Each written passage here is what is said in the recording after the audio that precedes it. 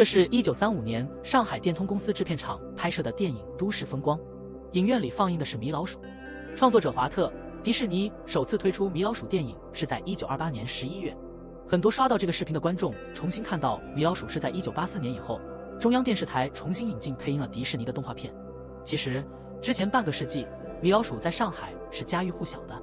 加州好莱坞到一九零零年时还是农村，只有五百居民。一九一零年，一部名为《老加利福利亚》的电影全部在好莱坞取景拍摄。一年后，第一个制作厂建立。加州四季温和的气候，再加上避开拥有多项电影专利爱迪生的诉讼。电影公司纷纷从纽约迁到好莱坞，美国的电影业也进入快速发展期。